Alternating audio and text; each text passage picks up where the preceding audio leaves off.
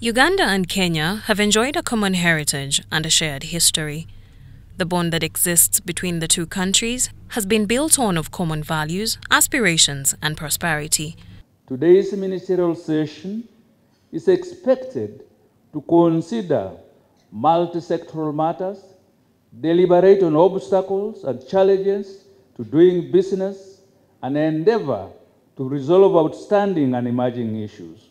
During the Joint Ministerial Commission in Kampala, there was a commitment of the two governments to strengthen the strategic partnerships and promote cooperation.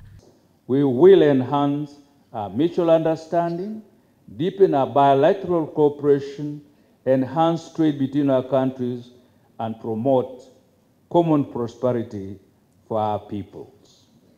It is my desire that the issues on non-tariff barriers that have continued to hamper cross-border trade between our two countries are further discussed at length and a conclusive position reached to enable the augmentation of bilateral trade.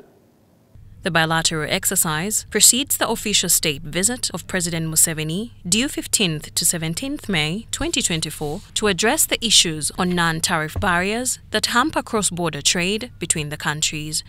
The second session is a follow up of the first session of the JMC in March 2019 in Nairobi. The state visit will afford our two countries an excellent opportunity to exchange views and review the progress of the many bilateral, regional, and international issues of mutual interest. So, this is an opportunity to review the implementation status of the agreed commitments. Maureen Babidie reporting for UBC News.